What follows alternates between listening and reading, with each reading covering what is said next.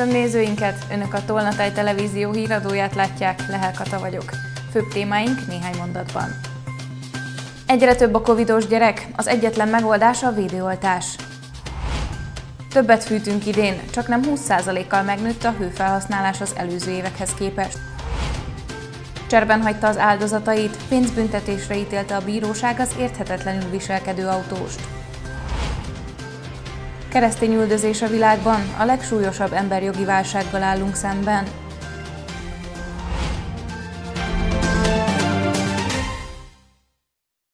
Egyre több kisgyermek fertőződik meg a koronavírussal, ezáltal egyre több óvodai csoportot helyeznek karanténba.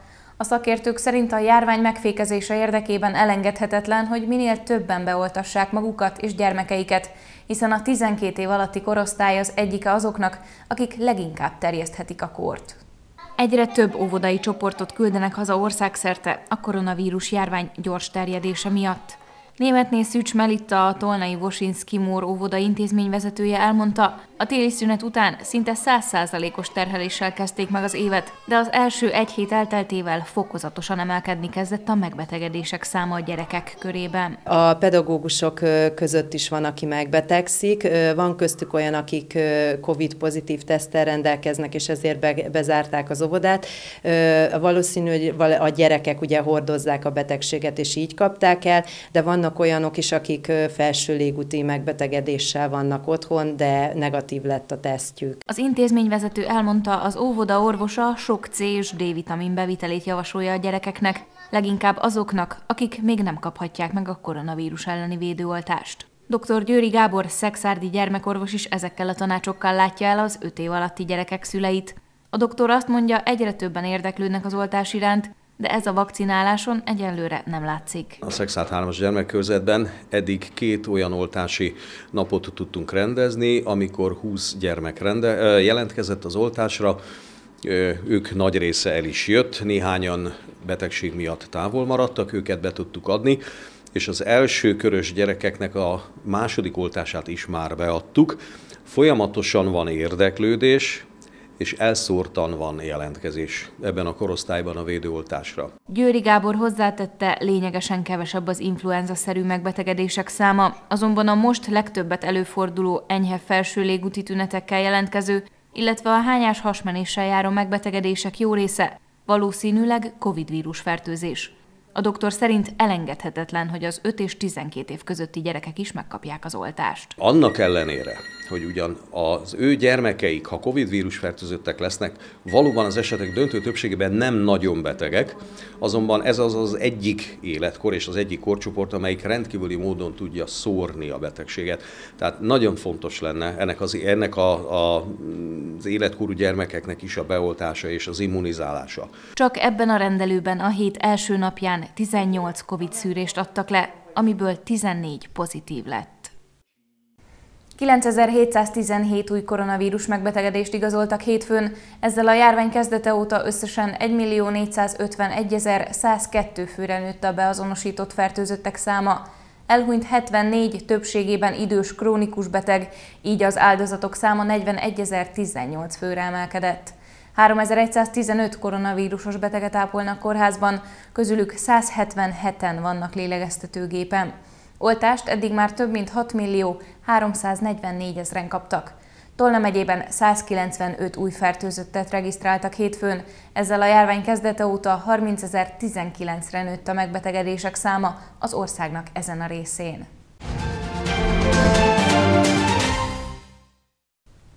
Több a hőfelhasználás az idei fűtési időszakban. A Szexárdi távhőszolgáltató ügyvezetője szerint a 2021-22-es szezonban az átlag hőmérséklet nagyjából 1 Celsius fokkal alacsonyabb, ennek következtében pedig csak nem 20%-kal megnőtt a gázfogyasztás az előző évekhez képest. Szeptember 15-én kezdődött el a törvényben rögzített fűtési időszak. Ekkortól kérhetik a társas házak közös képviselői, hogy indítsák be a központi fűtést, és ezt egészen május 15-ig kell biztosítaniuk a szolgáltatóknak. Csuklet Tibor, a Szexádi távfő szolgáltató ügyvezetője azt mondja, az idei szezon viszonylag korán, már október első napjaiban elkezdődött a megyei jogú városban. Ezzel a lakossági 13%-kal, a közületi fogyasztás pedig 6,4%-kal nőtt meg. Gyakorlatilag folyamatosan figyeljük a fogyasztást is, a másik oldalról pedig ugye gazdálkodnunk kell a gázcsúccsal is, nekünk 3000 köbméter van lekötve, és ilyenkor már azért tartani lehet attól, hogy nehogy túllépesek legyenek, mert azt nagyon keményen büntetik. Szexárdon több mint 5600 lakásban és 255 darab közületben van távfűtés. Ez nem változott az utóbbi években. Az ügyvezető elmondása szerint a januári mínuszok sem okoztak fennakadást. Azért sokat számít az, hogy a lakások be vannak csomagolva, a fűtésköztességek megtörténtek, nagyon sok lakásban ki vannak cseréve nyilázzárók, ez nagyon sok jelent azért a fogyasztásba is, és a pénztárcánál is az, amikor fizetni kell. A távfőszolgáltató egyébként több fejlesztést is tervez a jövőben, többek között kéményt építenének, két kazára pedig úgynevezett hőhasznosítót szeretnének telepíteni. A magyar sebészet fordulópontra ért, jelentette be Kásler Miklós hétfőn közzétett videójában, ugyanis az Országos Onkológiai Intézetben elvégezték az első magyar robotsebészeti műtétet. Az emberi erőforrások minisztere elmondta, a magyar egészségügynek már régi vágya volt, hogy meghonosítsa a robotsebészetet. Ennek a technikának számos előnye van, Kisebb műtéti terhet jelentenek a betegnek, a beavatkozások precízebben végezhetők, és a műtét utáni felépülés is gyorsabb. A miniszter kitért arra, hogy az intézményben meglévő feltételek lehetővé teszik, hogy ne csak urológiai beavatkozásokat végezhessenek a robottal, hanem nőgyógyászati, melkasi, hasüregi és fejnyaki sebészeti műtéteket is. Az Országos Onkológiai Intézet ezen a héten további négy műtétet végez el, de ezek között már nőgyógyászati műtétek is vannak. Tenke Péter professzor úr a következő héten hat műtétet végez el. Azt szeretném még megemlíteni, hogy cél az az 1,3 milliárdos támogatáson túlmenően, hogy kialakuljon egy olyan orvos továbbképző hely az Országos Onkológiai Intézetben, ahol ki lehet képezni a magyar sebészet képviselőit, a különböző sebészi szakmák képviselőit a robotsebészetre. Öt éves kisfiú sérült meg súlyosan egy cserbenhagyásos balesetben Pincefejtől nem messze. A kocsit, amiben a gyerek is ült, meg akarta előzni egy másik sofőr, ám megcsúszott, és emiatt a szabályosan közlekedő áldozatok is elvesztették uralmukat az autójuk felett. Végül mindkét jármű a közeli kukoricásban kötött ki. A balesetet okozó sofőr pedig egyszerűen kiszállt és elsétált a helyszínről. Egy kanyarban nagy sebességgel haladva akarta a szabálytalanul közlekedő sofőr előzni, ám a manőver közben megcsúszott. Emiatt megrémült a másik kocsit vezető férfi, és ő is elrántotta a kormányt. Az áldozat járműve előbb kidöntött egy keresztelbát, majd a kukoricásba csapódott. A felelőtlen sofőrkocsija szintén letért az útról, de a benne ülő férfi, anélkül, hogy segítséget nyújtott volna, kiszállt és elsétált.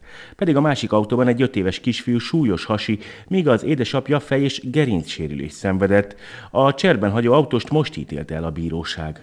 A Tamási Járásbíróság bűnösnek mondta ki a vádlottat segítségnyújtás elmulasztásának védségében.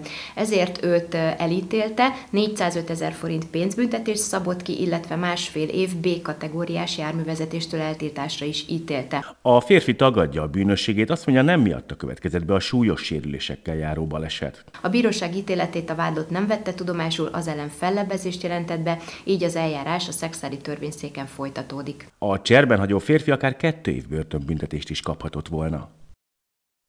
A magyar vidék a magyar mezőgazdaság és élelmiszeripar fejlesztésére a közös agrárpolitika vidékfejlesztési pillérén keresztül 2027-ig 4265 milliárd forint áll rendelkezésre. Ebből az összegből az idén és jövőre 1529 milliárd forint jut, mondta az agrárminiszter kedden budapesti sajtótájékoztatóján. Nagy István hozzátette, azt szeretnék, ha ezeknek a történelmi léptékű támogatásoknak minden magyar agrárvállalkozó a nyertese lenne. Hozzátette, ugyanakkor a pénzügyi lehetőségek csak akkor működőképesek, ha van befektetési, fejlesztési kedv a gazdálkodókban.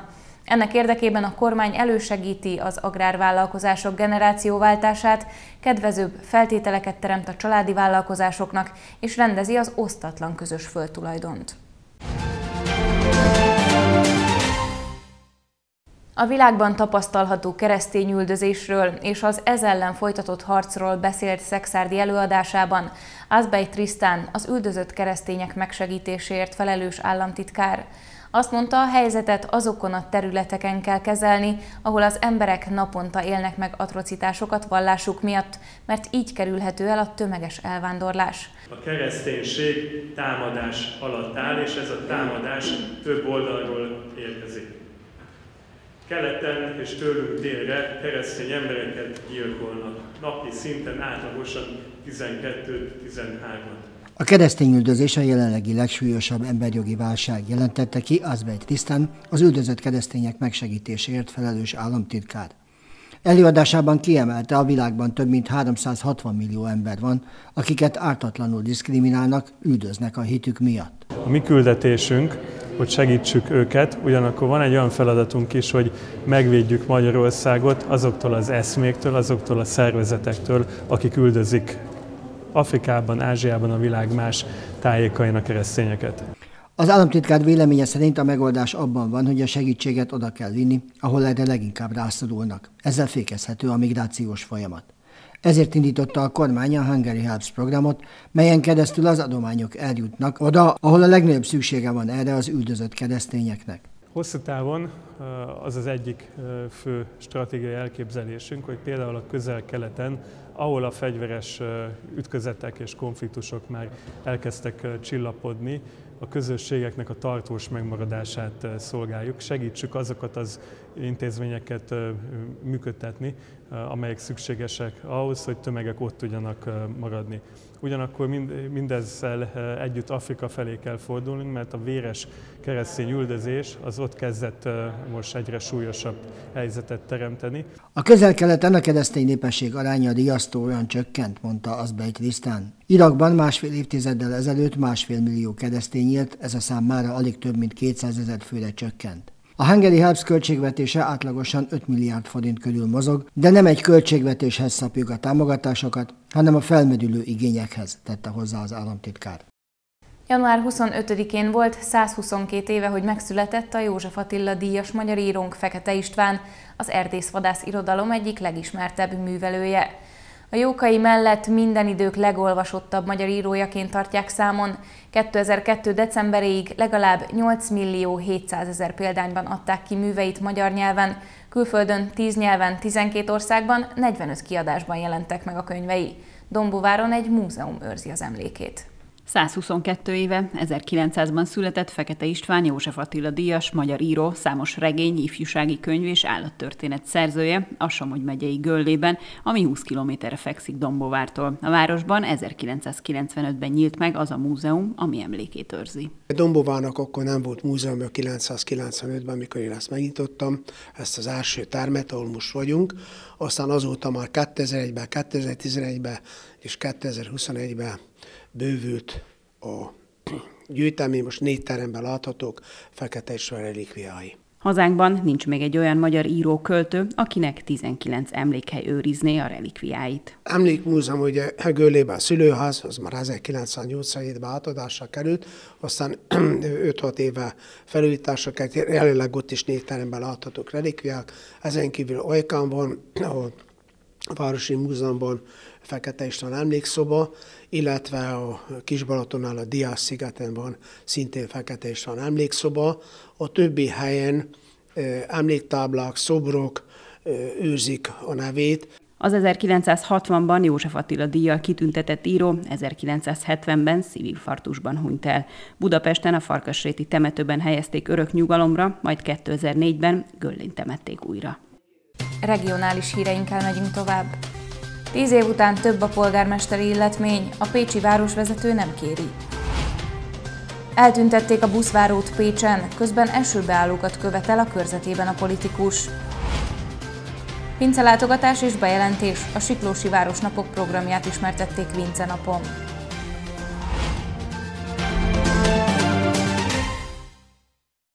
Tíz éve nem emelték a polgármesterek illetményét hazánkban, 2022-től az államtitkári bérekhez kötik a nekik járó összeget, amit korábban a helyettes államtitkárok fizetéséhez kötöttek.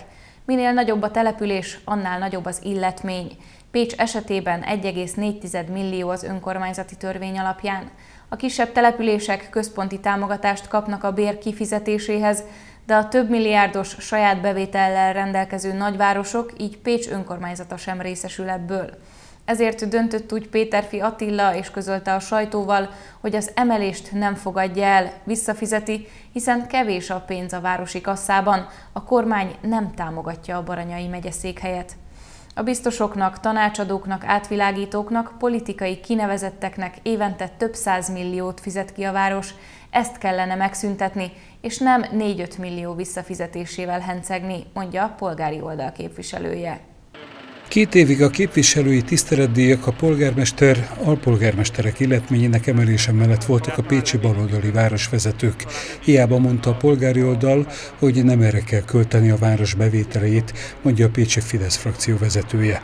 Most azonban a hazai polgármesterek életményének emelését hozó önkormányzati törvény módosítása után lemond az emelésről a pécsi városvezető, valószínűleg politikai marketingfogásként, de nem ez az igazi spórolás, mondja a politikus. Kíváncsian várom, hogy a 2022-es költségvetésnek a tárgyalásakor valón ezen a, ezen a jelképes felajánláson kívül az a több millió forintnyi összeg és megtakarítás megjelenik-e, amit a baloldali városvezetés a saját klientúrájára és barátaira költött az elmúlt két évben. Ennyivel került többe a baloldali városvezetés a pécsieknek. Valódi érdemi döntésként szállítsa le a különböző barátoknak, tisztségviselőknek az illetményét és javadalmazását legalább a 2019-es szintre, mondja a frakcióvezető. Illetőleg mondja fel azokat az abszolút szükségtelen szerződéseket, amelyek eh, gyakorlatilag azt eredményeztek, hogy Péter Fiatila egy tanácsadó hadsereggel vette körül magát.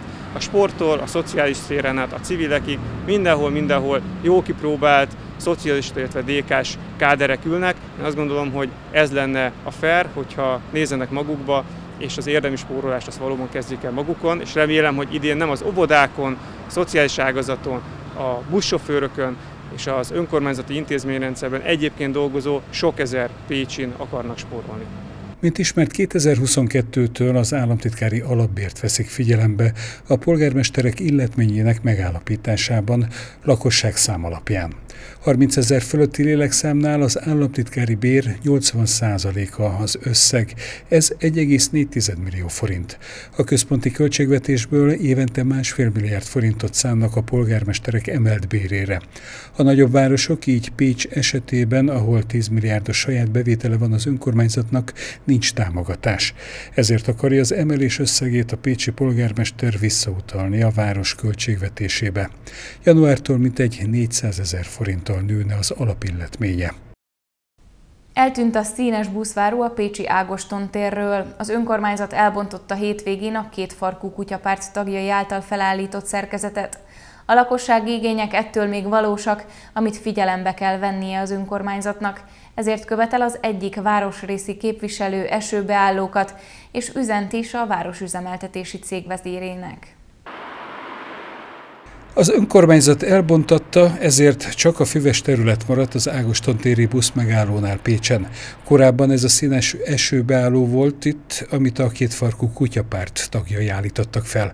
Az ispitaljára kellenek az ilyen zárt várakozók, akár önkormányzati, akár más felajánlásból, mondja a terület képviselője. Látjuk azt, hogy Péter Fiatilla polgármester úr buszmegállókat elbontatni már gyönyörűen tud. Mi azt szeretnénk, hogyha építene is. Itt az Ispitaljai városrészben 8 helyen, a négyes busz vonalának a gyakorlatilag a teljes útszakaszán, Ispitaljai útszakaszán 8 darab ilyen esőbeállóra buszváróra lenne szükség. Jól látszik, hogy semmi nem védi az esőtől, hótól, széltől, napsütéstől a várakozókat ezekben a buszmegállókban. Ezért határozott fellépésre kéri a képviselő a polgármestert, de a városüzemeltető cég vezetőjét is akinek egyébként egy határidőt is szabnánk, ugyanis az idei évben is fogunk szavazni majd a prémiumáról. Ez több mint 11 millió forint, hogyha a 12 hónapi prémium mennyiségét összeszámoljuk ebben az évben és hát ennek kapcsán azt is ki lehet számolni, hogy a kétfarkú kutyapárt az a saját bevallásuk szerint 150 ezer forintból építette föl ezt az esőbeállót a Zágoston téren. Hát nagyjából 100 ilyen esőbeállót föl lehetne építeni a Meixer úrnak a prémiumából. Még decemberben építették a két farkúak a színes esőbeállót a Pécsi Ágoston térre. A polgármester azonnal el akarta bontatni a kaibát, ahogy a közleményében jelezte. Ezért kereste az építőket az önkormányzat, de választ nem kaptak. Így hétvégén elbontották és elszállították a faszerkezetet a Biokom munkatársai a telephelyükre. Idén is megrendezték a hagyományos Vince napi programot Siklóson. A baranyai településen többek között pince látogatáson vehettek részt az érdeklődők. Az egyik ilyen borászatban jelentette be a polgármester, hogy különleges eseménnyel készülnek a tavasz folyamán. Régül Gábor elmondta, hagyományteremtő szándékkal rendeznek városnapokat, hiszen idén 45 éve, hogy várossá nyilvánították Siklóst. Hogy akkor? Csobot Robert pincészetébe is nyerhettek bepillantást azok, akik ellátogattak Siklósra. A településen a hétvégén tartották meg a hagyományos vincenapi eseményeket, így a pincelátogatás is a programok közé tartozott. A finom borok kóstolása közben bejelentéssel készült a polgármester. Rigel Gábor elmondta, hogy idén 45 éve, hogy Siklóst várossá nyilvánították, amit méltóképpen szeretnének megünnepelni. Ezért egy háromnapos ingyenes rendezvénysorozattal készülnek március 31-e és április 2 a között. A siklósiak meg tudják ünnepelni a város születésnapját, de emellett olyan programsorozatot kínálunk, ami gyakorlatilag vonzó lehet, nem csak Arkány, nem csak Siklós és nem csak Villány térségében lévő lakosoknak és turistáknak, hanem a teljes régióból megpróbáljuk megmozgatni azokat, akik az itt összegyűjtött előadásokra koncertekre és egyéb eseményekre érdeklődést mutatnak. A városnapokat hagyományteremtő szándékkal is rendezik, így egy olyan helyszínt kellett találniuk a szervezőknek, ami a következő években is megfelel az eseménynek. Így a felszabadulás útjára esett a választás maga a színpad a főúton, felszabadulás útján fog elhelyezkedni, az utca jobb kész felén pedig kézművesek fogják majd bemutatni a portrékáikat, és a Mária utcából pedig egy gasztrosétányt, egy gasztróudvart szeretnénk kialakítani, ahol ételeket és a helyi borászatok boráit és pálinkáit lehet majd megkóstolni a, a fesztiválra látogató közönségnek. Emellett koncertekkel, útszabállal is kedveskednek a látogatóknak.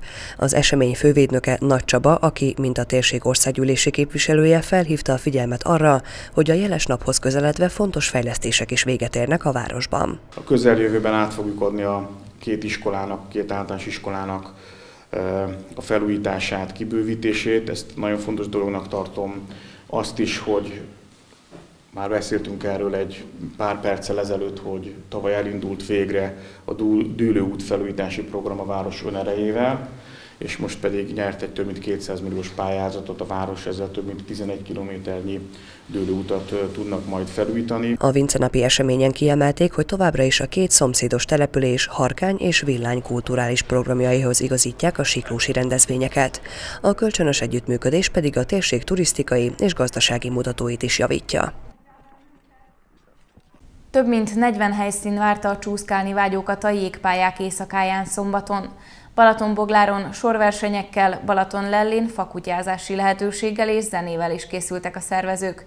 A programok több száz embert mozgattak meg a két településen. Nem túl Biztos? Igen! Egy gyors korcsolya kötés és irány a pálya. Akinek nem volt saját korcsolyája, az bérelhetett is Balatonbogláron a jégpályák éjszakáján. Több száz ember érkezett szombaton a településre, hogy a kikötőben felállított 40 méter hosszú pályán csúszkáljon. Kicsiket és nagyokat is megmozgatott az esemény. Hát egy jót lehet szórakozni, barátokkal, családdal, és jól lehet érezni magunkat. A bátrabbak trükköztek is, amíg a kevésbé tapasztaltak, inkább csak kapaszkodva merészkedtek a pályára. Ez a család a közeli Zamárdiból érkezett az esti programra. Évek óta nem fagyott be a Balaton, úgyhogy igyekszünk kihasználni a műjégpályákat. Mi amatőr, meg családi szinten űzzük ezt a sportot, de nagyon szeretjük. Elkészülni, rajt! Na nézzük ezt a lufi fújó versenyt itt a jégpályák éjszakáján. Balatonbogláron lufi fújó és a sorversenyekkel várták késő estig az érdeklődőket. A szervezők azt mondják, egész télen nagyon népszerű a jégpálya és a program is. Az első alkalommal is megtapasztaltuk, hogy milyen nagy az érdeklődés, legfőképpen a pálya iránt, de minden mellett a jégpályák éjszakája iránt is. Akkor nagyon sokan voltak, tavaly ugye nem volt pályánk, mert a Covid elvitte. Az idei esztendőben azonban a Magyar Jégkorong Szövetség segítségével sikerült megvásárolnunk ezt a hatalmas pályát, és hát gyakorlatilag november 26-a óta élvezi a közönség. Egyébként olyan 6-7 ezer ember fordult meg eddig a pályán. Ez pedig már Balaton lelle, ahol közvetlenül a Balatonparton várták a korcsolyázni vagy éppen fakutyázni vágyókat. Sok család érkezett az esti programra. Zsófi azt is elárulta, hogy miért szeret korcsolyázni. Szabad vagyok, meg hogy tök jó dolgokat lehet csinálni. Például lehet pördülni rajta, meg bármit. Országszerte több mint 40 helyszín várta az érdeklődőket a jégpályák éjszakáján. A Magyar Jégkorong Szövetség célja évről évre a téli sport népszerűsítése. Végül nézzük főbb Tolna megyei híreinket még egyszer röviden. Egyre több a covidos gyerek, az egyetlen megoldás a védőoltás.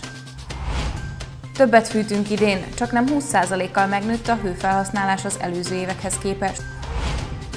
Cserben hagyta az áldozatait, pénzbüntetésre ítélte a bíróság az érthetetlenül viselkedő autóst. Keresztény üldözés a világban, a legsúlyosabb emberjogi válsággal állunk szemben.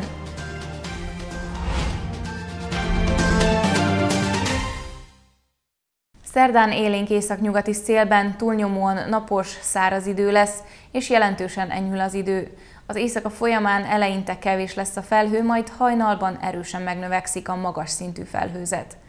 Friss hírekkel legközelebb szerdán este jelentkezünk, addig is kövessék műsorainkat, illetve keressenek minket a Facebookon, ahol naponta friss hírekkel, érdekességekkel várjuk Önöket. Ha látnak valamit, ami Önök szerint figyelemre méltó, akkor azt osszák meg velünk, hogy másoknak is megmutathassuk. Mára köszönöm figyelmüket, viszontlátásra!